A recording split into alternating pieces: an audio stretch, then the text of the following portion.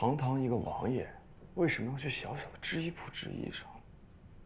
呃，少爷，您说什么呀？哦，没什么，小管家啊，您先去忙吧。哦，呃，那小人先告退了。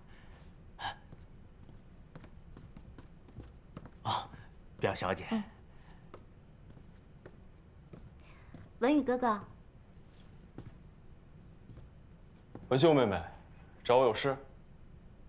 没什么事啊，就是来问问哥哥，之前去查方氏制衣铺仿制成衣的事儿，查的怎么样了？没什么，他们早就不再仿制了。但曾经仿制过是事实吧？他们既然已经不再仿制了，这件事就算过去了。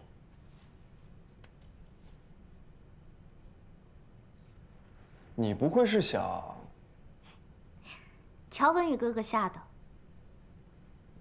说到底，这是苏家的事儿，关乎的更是整个京城的知绣业，与我一个小女子有何关系啊？我不过是奉了二叔之命，过来随便问问。既然没有什么事儿，那我先走了。等一下，你不要跟霓裳作对了。你放心，如果他行得正、坐得端，那自然是不用怕的。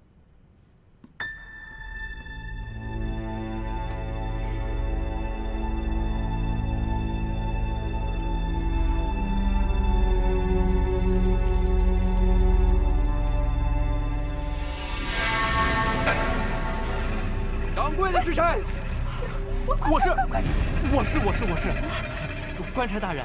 小人方恒就是本店的掌柜，呃，不知几位大人大驾光临，有何贵干？衙门接到百姓举报，你们制衣铺长期制售假货，奉府台大人之命，要将这些衣物布匹悉数没收，动手！啊！干什么呀？干什么？你们别让开！能不能走啊？不能动！不能动！你们再有人反抗，一并带走！都别落下！里面放啊！救火！救火！这边没有了。那还有，好，再来个人，来了！我的不……大少爷，这个月的账本给您拿来了。小管家，什么事这么开心啊？哎呀，喜事儿，苏氏的喜事！少爷，您可曾记得前些日子小人跟您提起过的那方氏制衣铺？因有人举报。现在官差正在查抄他们的铺子呢。哎呀，这个害人精总算是被人收拾了。方氏被查抄？对呀，方氏公然仿冒造假，扰乱商规，自然是有人看不下去了，便去衙门里告了他们一状。真是多行不义必自毙呀！是你干的？我一个弱女子，怎么会出面做这种事情？这都是行头会里那些叔叔伯伯们起的头。文玉哥哥质问我做什么？行头会，那是二叔牵的头。二叔也是为了整个京城的绸布商着想，总不能因为方氏一颗老鼠屎坏了一锅粥吧？严文秀，你给我听清楚，京城的事、苏家的事都与你无关，因为你和霓裳有过节便公报私仇，真是小人之举。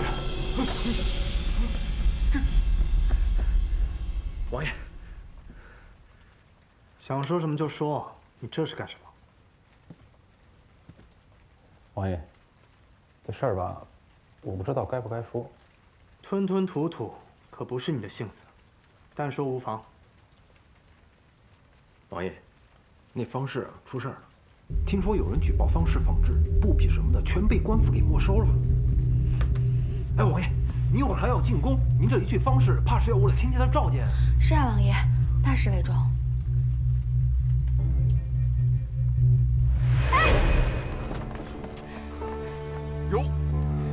怎么来了？陈捕头，方氏制衣铺一贯老老实实，在京城颇有声誉，可否看在我的面子上行个方便？苏少爷，别的事儿都好说，可这件事儿是府台大人卖了你苏家的面子，除非是你二叔亲自前来销案，否则兄弟不可一定。我二叔与方氏有些误会。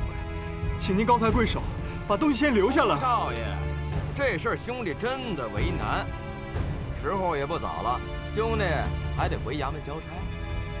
走。官差大人，哎，夫人，夫人，夫人，夫人，这次府台大人开恩，只是没收你们的布匹，下次再犯，当心封你们铺子。回府。官差大人，夫人，夫人大人，大人，你们等一下，大人。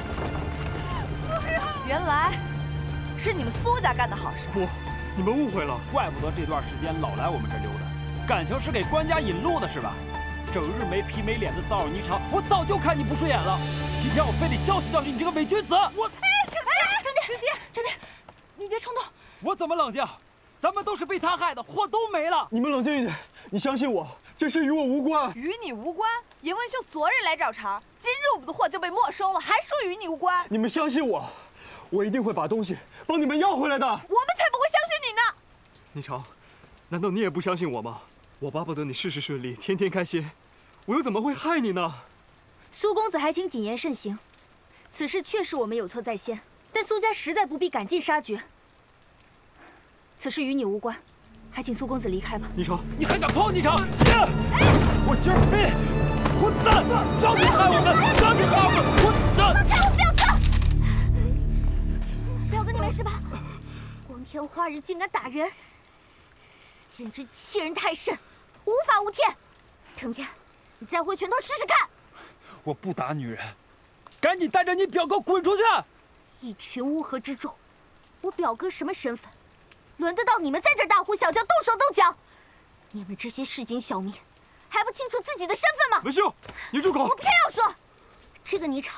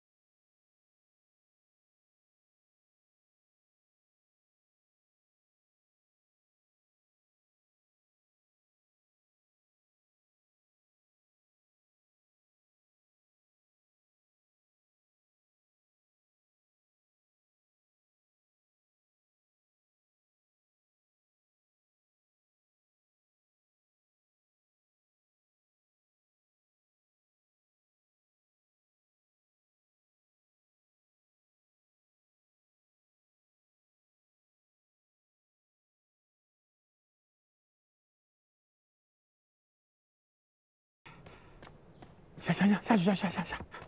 哎呀，大人，好消息啊！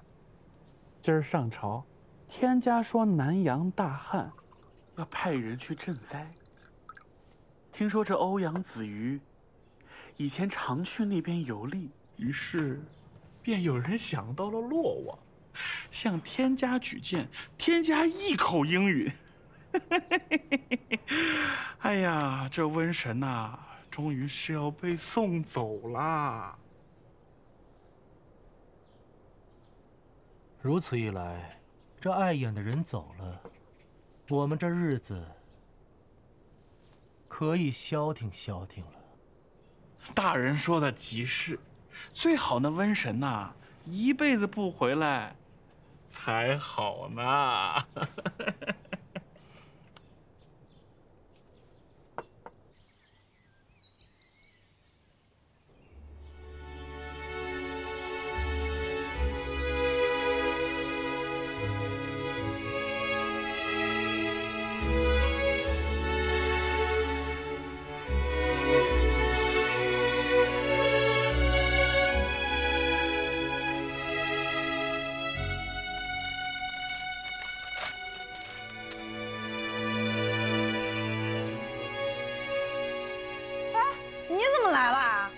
我找霓裳。你怎么又来了？这不慌，你给我出去！出去！出去！霓裳不会再见你的，你赶紧走。见不到霓裳，我就不走了。你是挨打没挨够是吧？你回屋去。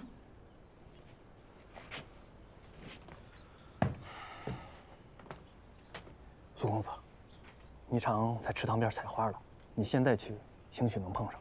谢谢舅舅。舅舅你，你什么你啊？你懂什么呀？心病还需心药医。咱们家这个事儿是因为苏家而起的，你倒不如去让苏公子跟霓裳说个明白，要不然霓裳什么时候能转过这个弯来？吃饭。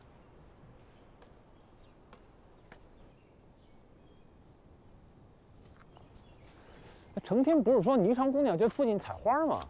人呢？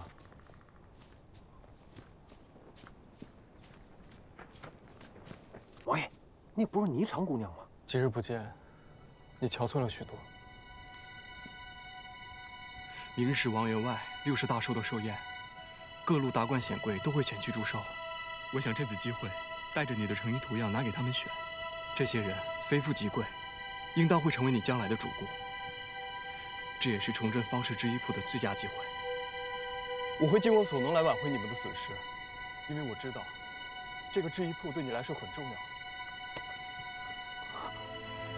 放手！你听我说，我会帮你，相信我。我说放手！算了，咱们走吧。王爷，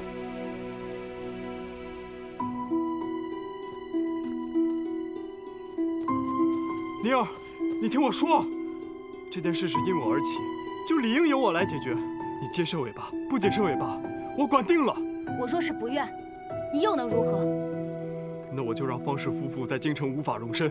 你，既然你们说我动用权势查抄了方氏，那我可以再次动用权势，将他们赶回老家。想来也不是什么难事吧？苏文宇，你竟如此卑鄙！那也是被你逼的。宁，你为何总是将我拒之千里之外？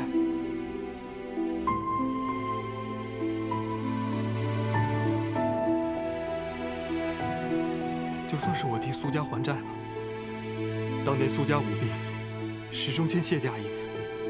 如今我帮你一次，也算是公平了。去把方氏最华丽的成衣图样找出来，相信我就把图样给我。我等你。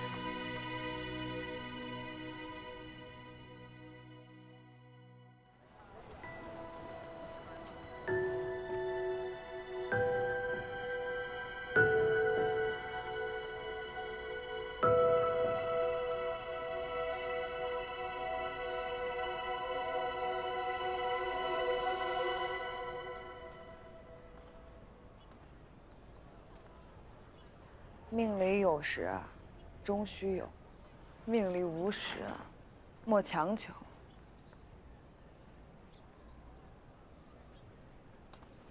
舅妈快去吃饭吧身体要紧。我也想吃呀可这店都开不了了哪有胃口吃啊？来人了来人了！来人来来人了来人来不是，客客人啊，好多达官显宦都来找霓裳做衣裳来了啊！哎呦！衣裳，老板，走客人！这边是这边是，客人啊！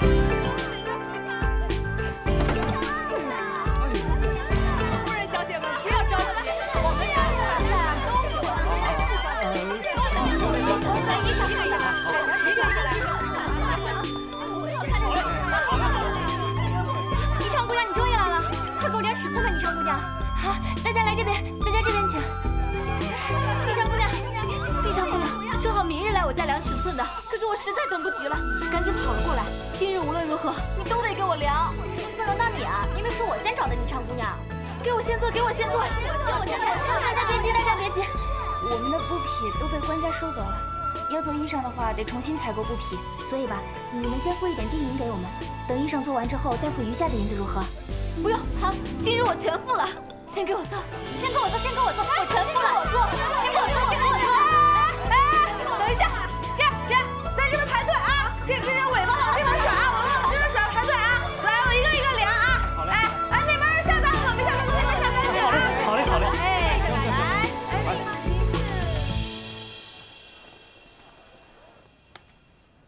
他们店里但凡新品成衣，不管男女老少，通通给我卖回来。喏，哎，等等，记住，千万不要让他们知道你是苏氏的伙计，那个害人精记仇，到时候反告咱们就不好了。啊，小管家，啊，大少爷，去吧去。哎呀，大少爷您来了，您这是刚从方氏制衣铺回来？你怎么知道？啊，这段日子您不是一直往那儿跑吗？哎呀，大伙儿都说呀，这方氏能名动京城，全是大少爷的功劳呀。这话可不能乱说啊！是是，方氏制衣铺能重新翻身，那是人家的本事啊！是，关本少爷何事？关你何事？这些日子，您为了方氏跑前跑后，又是出点子，又是带着霓裳挨家拜访名门大户，拉客源，甚至还将苏氏的供货商介绍给他们，让方氏享受苏氏同等的优价。文宇哥哥，方氏能翻身，您功不可没，实在不必谦虚。无凭无据，这其中内情你并不知晓，不要乱说。难道我说错了吗？这些日子，你为霓裳鞍前马后，我可全看在眼里。霓裳是我挚友，她陷入困境，我怎能视而不见？我帮一点小忙又能怎么样？文宇哥哥作为苏氏少东家，却帮着自己的对头二叔会怎么想？上上下下仰仗着苏氏吃饭的伙计们，又会怎么想？你尽管去说，我一人做事一人当，你在背后使绊，这是小人之举。你。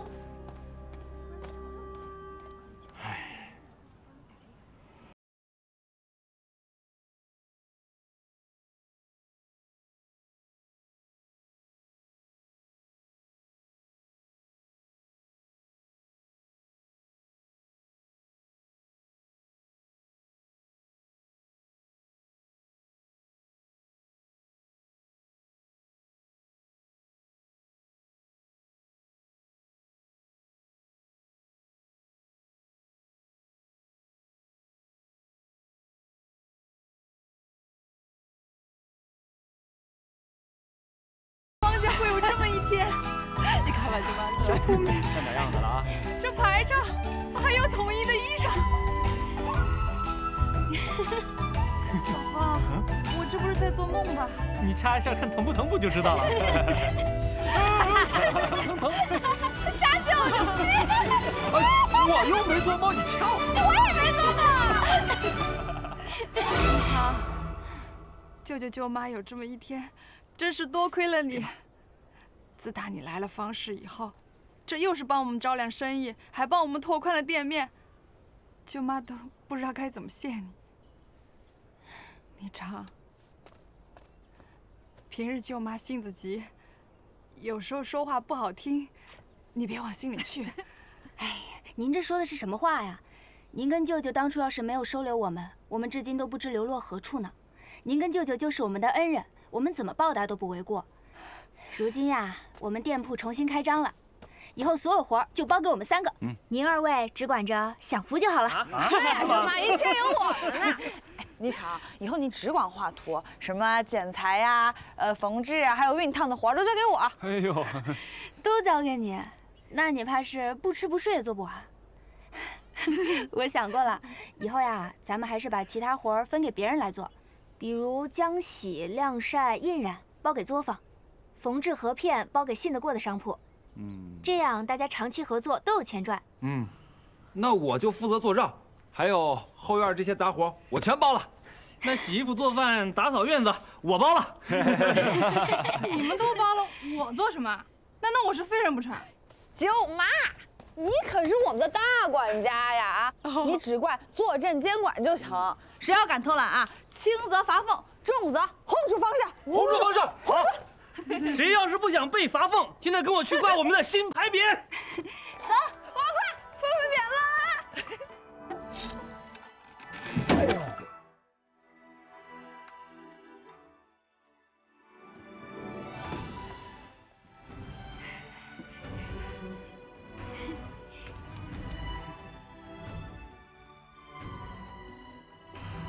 陈天，去放鞭炮。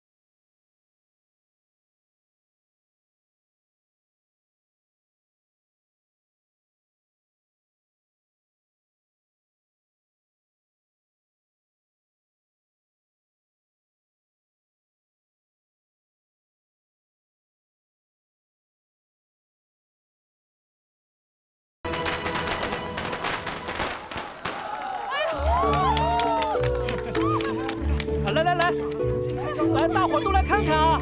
那个，各位街坊，各位邻居，我们的方氏制衣铺今日重新开张了。呃，为了感谢大家一直以来对我们的照顾啊，我们三天之内，方氏所有的商品，让你多少？八成，八折，八八折，所有的商品八成。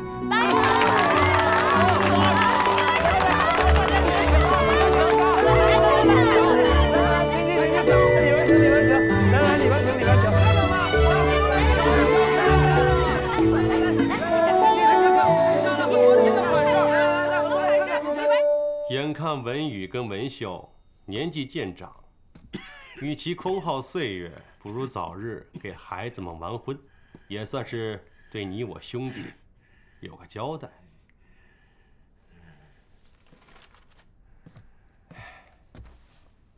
大哥，这严家如今也是看准了咱们苏家日渐强盛，这文宇也是听话孝顺，早就迫不及待要将自己的女儿嫁进咱们苏家了。大哥，您意下如何？此事不能强求，还要问问文宇的意思。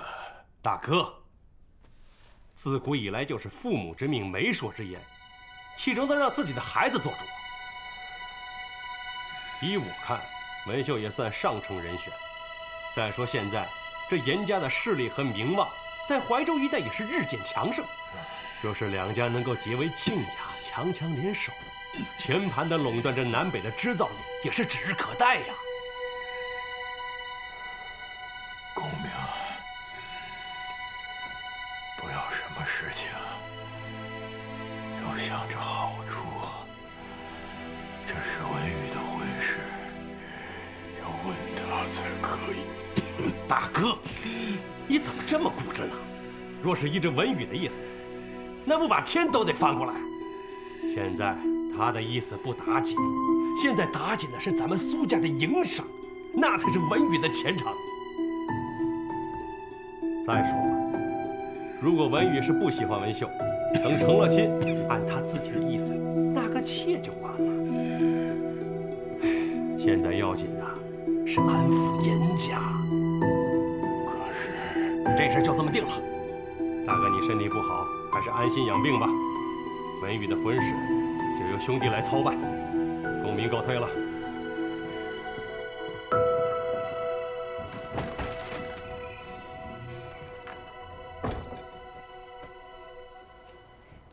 霓裳，你别忙了，来吃点牛肉休息一下吧。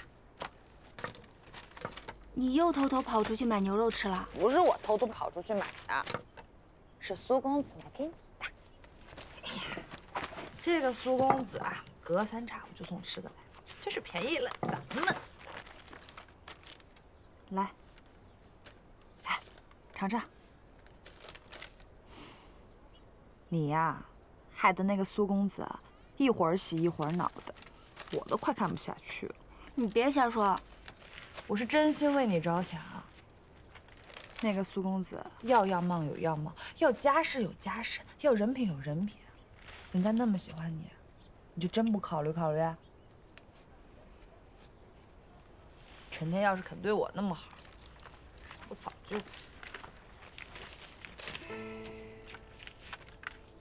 霓裳，有些话我不知道该不该说。你想说什么就说呗。成天对你的心思，你是知道的。但你一直拿他当兄弟，这我也知道。成天虽然不喜欢我，但我看他为你那样煎熬，我也是心疼啊。倘若，倘若你的心里有所属，让他早日断了念想，会不会对他更好一些？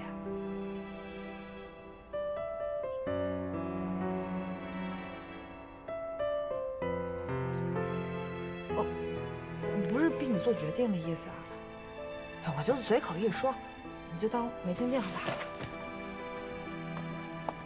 元香，你干什么啊？谢谢你。你谢我干什么呀？谢谢你一直陪着我，一直那么相信我。你跟成天都是我最亲的人，我知道他的心思。他对你其实早就心动了，只是你没有察觉罢了。他才没有。他每次都故意惹你生气，然后就来哄你，下次又故意惹你生气。他若是没有对你动心，干嘛这么捉弄你呢？记得你上次生病吗？最着急的人就是他了，大半夜的还跑出去给你买药。你呀，也别老是说他不识好歹了，他只是没有表白自己的心意罢了。意思是，他嗯，耐心一点，还有，你的脾气也该改改，温柔一点嘛。我还不温柔？嗯，你老是成天成天这样的，能温柔吗？那我改，对，那我就改下来。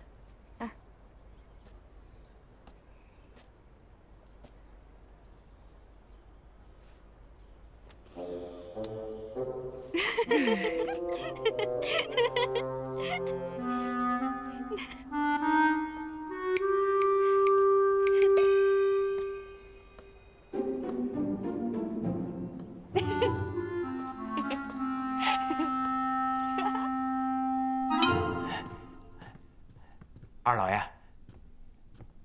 表小姐来了。文秀，二叔，来坐。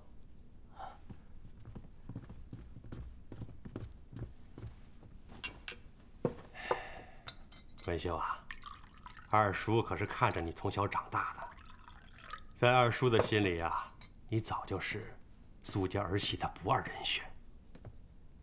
今日收到你父亲的信，你父亲的想法跟我是不谋而合，他也希望你能够早日嫁进苏家，苏家也缺一个女主人，你可不要辜负我们的期望，相夫教子，恪守礼教，帮助文宇将苏氏的织造发扬光大。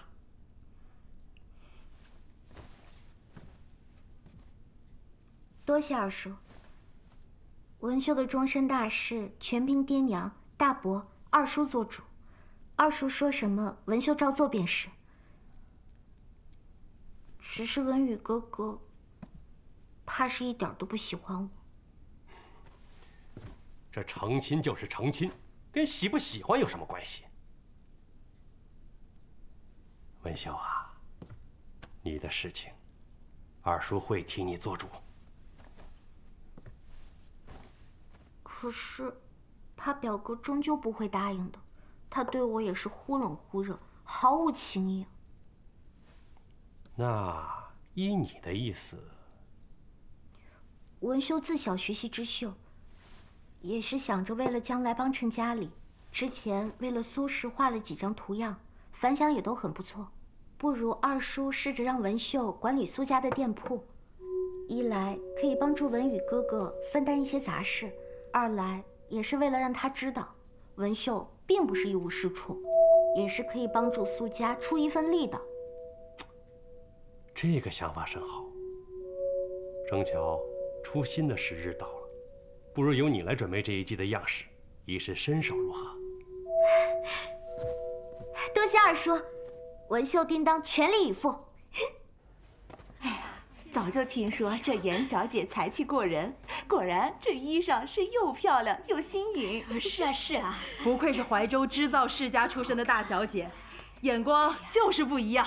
哎，就是就是啊，听说严小姐独创的衣服样式，好多达官贵人啊都争相购买，就是不知道是真是假。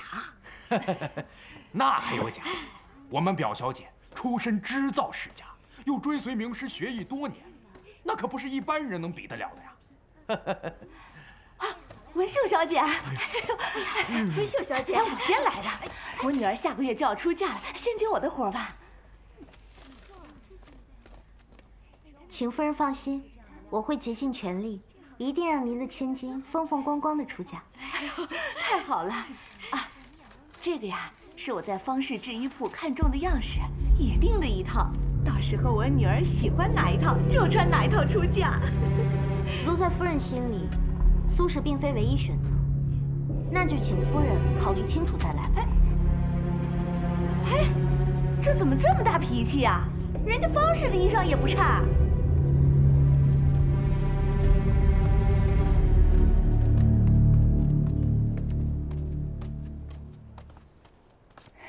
夫人久等了。我给您拿了几款衣裳图样，您先挑挑。哼，倒难为他，生生将一匹死马医活了。颜色清新，适合日常穿搭之用。若是遇上生辰宴请，这衣裳还可以拆分呢。外套可以做风衣斗篷外出之用，里面那套可以在家见内宾家眷的时候穿。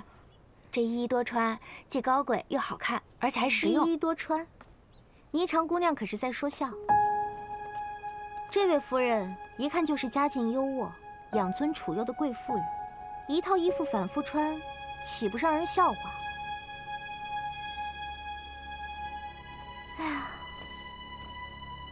夫人见谅啊，霓裳姑娘出身贫寒，自然不知道有钱人家的太太小姐是如何过日子的。让您见笑了，我在这里替他给您赔个不是。啊，正好，我们苏氏绸布庄也有两套图样，夫人看您是否喜欢？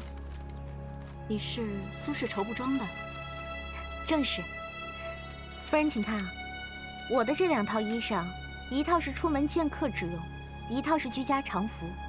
这两套衣裳皆采用的是上等绸缎加精工刺绣，华丽又舒适。正好与夫人您尊贵的身份相匹配。夫人，请看啊，这个裙摆加这个流苏，他们的设计。严大小姐，你莫不是记错了？这里是方氏制衣铺，不是你苏氏绸布庄。你既开门迎客，别人来得，我自然也来得。怎么，你心虚了？怕争不过我？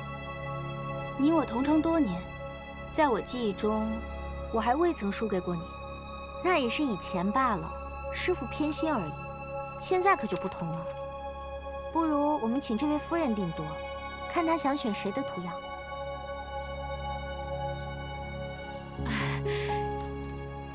这二位姑娘的图样呢，我都很喜欢，都很喜欢。这选了这个呢，又有点放不下那个；选了那个，又有点舍不得这个。不如我下次再来，下次再来。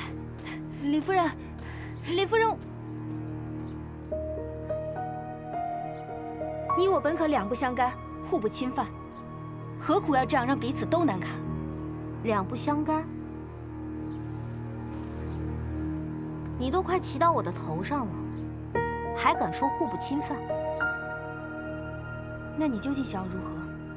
非要证明你比我强？我们方氏虽比不上你苏氏，可是，在百姓心中也是有口皆碑的。那也只不过是没有见识的下等人而已，有什么了不起？我不想跟你吵架。不过，你若非跟我比个高下的话，我倒有个法子，不如咱俩来比试比试，是好是坏，让众人来评判。我和你？对。怎么，不敢了？不是不敢，而是不屑。我们苏氏上百年老字号，且是天家钦点的贡商，岂能沦落到与你们这种街边小店一起耍猴？白白让你们抬了身价，你若高兴，就自己玩吧，看有几个人捧场。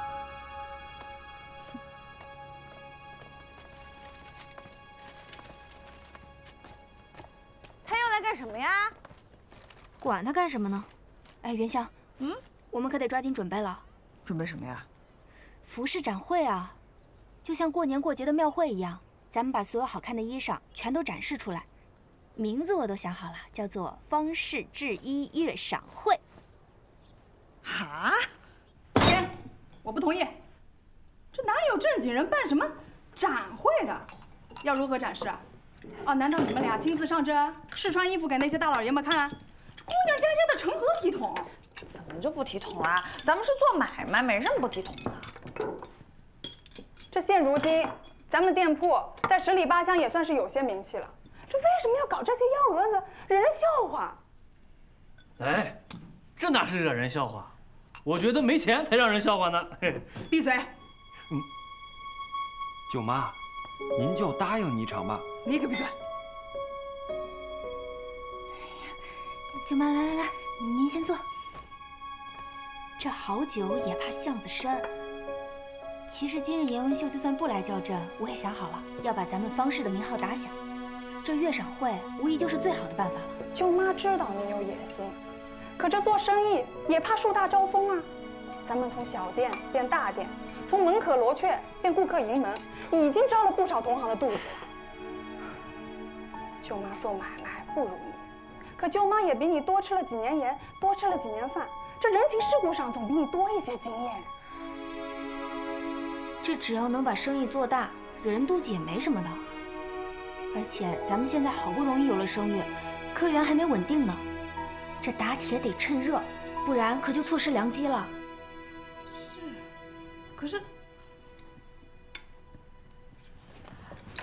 霓裳说的对，舅妈，你就别担心了，让我们做吧。对呀，舅妈，您就让我们做吧。那这展会的台子，你们打算摆哪儿？这咱店门口也摆不开呀。这个我来想办法。那你告诉我，这如何展示衣裳？要让别人看到衣裳穿在我们身上是自在舒服的状态。转身，到时候啊，我们和霓裳会给大家化一个美美的妆，然后搭好配饰，剩下的就请大家多多帮忙了。元香，哎，我做了牛肉饼和红薯干，来帮忙给大伙端出去。我们休息一下吧。怎么回事？怎么突然来了这么多客人？哎，这是走什么的呀？还还挺好看的。哎，姑娘们，等会儿让成天跟你们一块儿走，好不好呀？哎哎，笑笑什么呀？怎么谁说女子才能好看？本人我，不也是玉树临风、风流倜傥吗？到时候就让成天也换上，跟你们一块儿上台。哎，你怕吗？笑话，我成天字眼里边就没有害怕这个词儿。哎，想当年咱们在怀州也算是一角吧，对不对？哎好好那你也走一个我看看姿势。您瞧好啊。哎呀步子大了。